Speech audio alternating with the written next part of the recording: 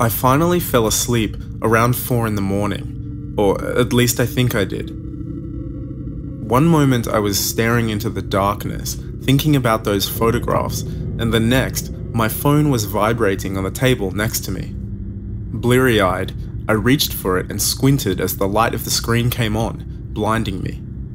It was only 6:13 a.m. An unknown number was calling me. I ignored it and set it back down. Not even a minute later, it was vibrating again. I sighed, slid it towards me, and pressed accept. Hello?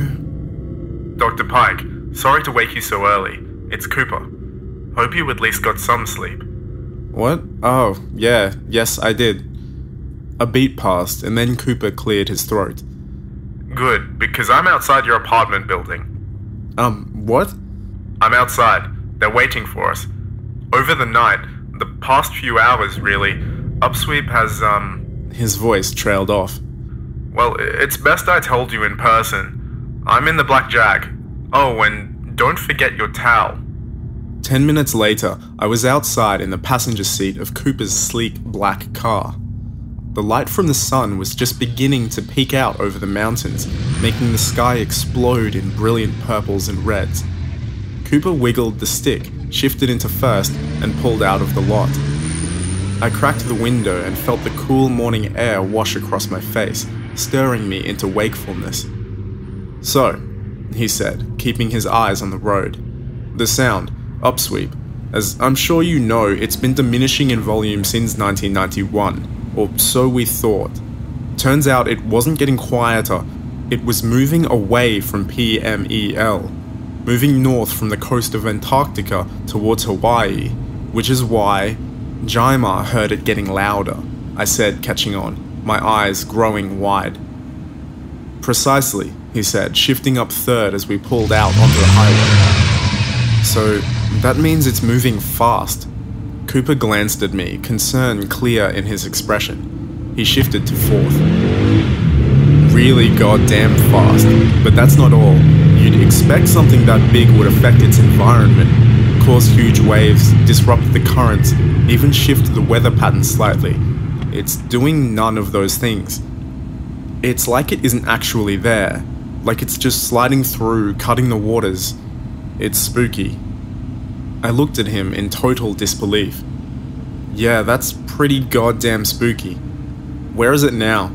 He looked at me, then back towards the road. The light from the rising sun was bright, angled, and he flipped down the visor, shading his eyes, before saying, About 350 nautical miles from the California coastline. We pulled into the marina before the sun had fully risen. I could see a sizable grey vessel and a small congregation of people standing by the dock in front of it. Some of them were wearing marine uniforms. I looked questioningly at Cooper. He shrugged and said simply, It's become a matter of interest to those who protect our national security. He parked and we got out, walking towards the group. I could see Joan Leo standing in the forefront, surrounded by a team of scientists. The Marines stood by, watchful. A few were staring intently at Cooper. Dr. Pike, Cooper, good morning. Please, Leo said, gesturing behind her at the vessel. We're in a bit of a hurry. Luckily, the Navy has agreed to assist us with one of their vessels. It's faster. As we walked up the gangplank and onto the vessel, I felt a growing sense of dread rising up, threatening to take me over and turn me around back towards the safety of land. I ignored it and watched solemnly as they withdrew the plank and pushed off. The boat was fast, very fast. This way, we've set up in here. Leo led us towards the stern and into a well equipped cabin, complete with a round table littered with paper graphs, sketches, pictures, pencils, and one very large, old looking sextant. I could see that some of the charts represented the speed of the object. It was phenomenally fast. Leo turned to me as her team of scientists spread out to the different stations around the room. Some were observing sonar, others were charting the topography of the ocean floor. I watched mesmerized, slightly in shock, unable to fully comprehend what was happening. Leo gestured to the table and the room at large. Upsweep Central. We're trying to track it to see if it gets any closer to the coast, but it seems to have stopped over a fixed point. At first, it looked like it might have been moving with the ocean floor current, an inanimate object riding the tide. But it seems to have stopped at a fixed point, standing still against the current, which is strange to say the least. Leo sighed. She looked exhausted. Have any ideas, Dr. Pike? I glanced at Cooper. He was studying a few of the papers on the table. I looked back at Leo. Geologically wise, very, very few. I did have some, but its recent movements and changes have since ruled those out. Maybe it's some sort of animal we've yet to discover. Leo shook her head. Can't be. That big and that fast? Impossible. What do you think, Cooper? He set the papers down, looking thoughtful, then said in a measured tone, I think it's big and I think it's fast. I also think speculation ruins the surprise. Three hours passed in a frantic blur. The data we were receiving was wildly impossible. The sound the thing was making was off the charts, and it seemed to have grown in size. The animals that were once congregating near it were swiftly leaving, and we could see an uncountable number of whales, sharks, and fish all swimming away from the direction we were heading. Sort of makes you wish you brought a fishing pole, Cooper said, peering wistfully out the cabin window towards the ocean below us. I shot him a look, unsure whether he was being serious or joking. He smiled. Really, Cooper? Leo said, bustling over with a stack of topography paper in her arms. No, I hate the ocean and fishing. Just trying to lighten the mood before our impending doom, he said, smiling wider. Before Leo could reply, an ear splitting alarm sounded, making everyone cover their ears as pain etched its way swiftly across our faces. It cut off almost as suddenly as it had started, and the vessel slowed to a dead stop.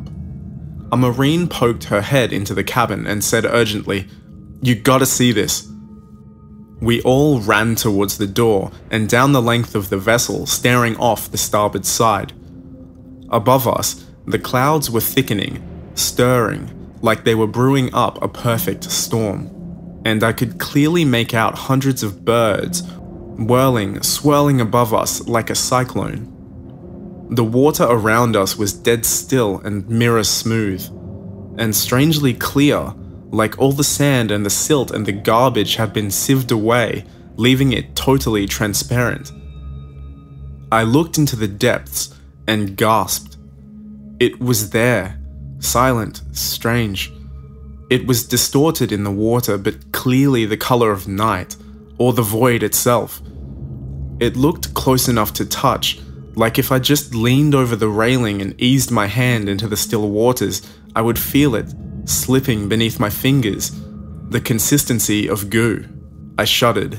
Holy shit, I whispered, watching as its image undulated in the water. It looked like some of the blackness was oozing out of it, rising in long tendrils towards us.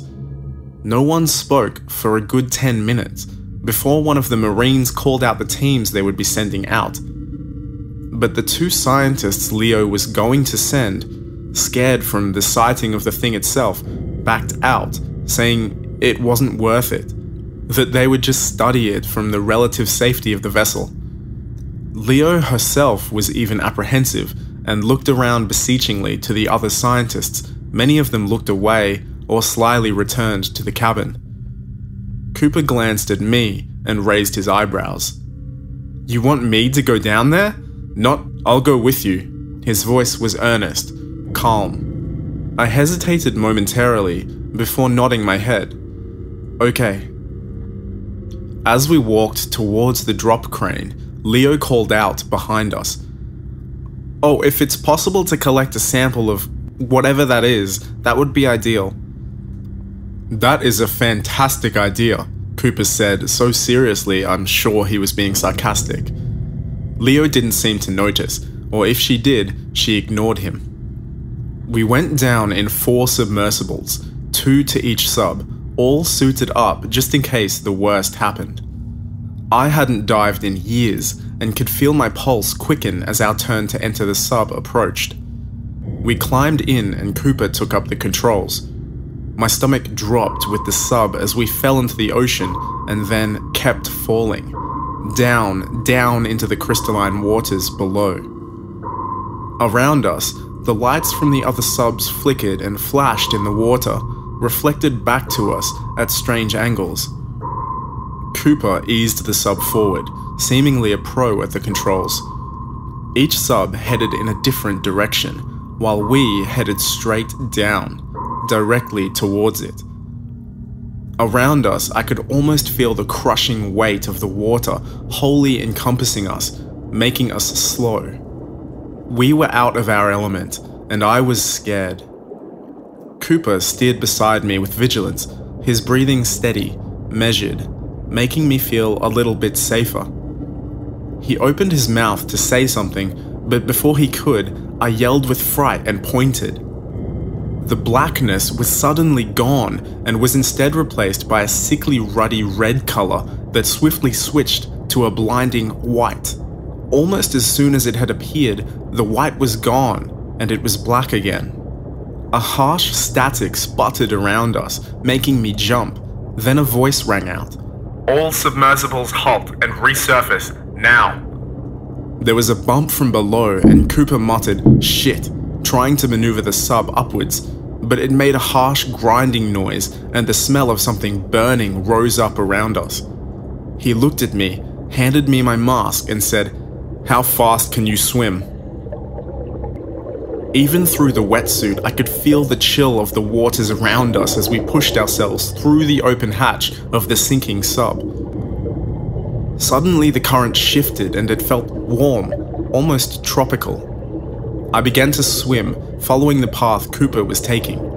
And as I swam, I could hear three things the sound of my own breathing, struggling to remain steady, calm, my heartbeat, loud, powerful, consistent, pulsing in my ears, pounding around in my skull, and finally, the eerie, haunting sound of the thing below.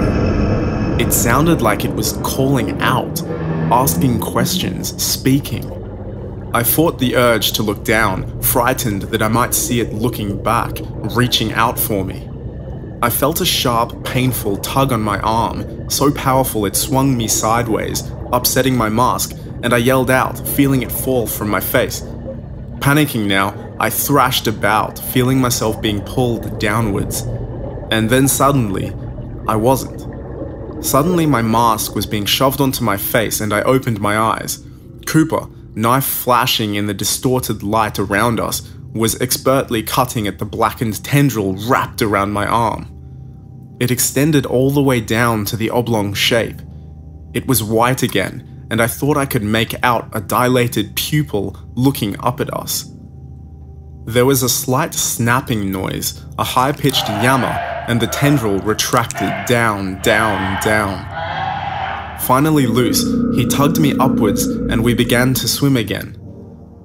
The tendril still wrapped around my arm was leaking a jelly like purple substance that refused to mix with the water around us, sinking below like an unusual oil. We breached the surface, and four different pairs of arms reached down and pulled us, sputtering and limp, onto the boat and then up onto the larger vessel. I lay there, my heart pounding painfully against my throat, rendering my voice useless. I felt a tug and looked to my left. Cooper was gently peeling the black tendril from my arm. He tossed it towards Leo, who stood close by, watching us with wide eyes. She made a squeaking noise and hopped back from it. Sample, Cooper breathed, before leaning back against the railing and bursting out in uncontrollable laughter. I watched him for a moment, then joined in, feeling the laughter peel out of my belly a gut reaction to our near brush with death, or worse.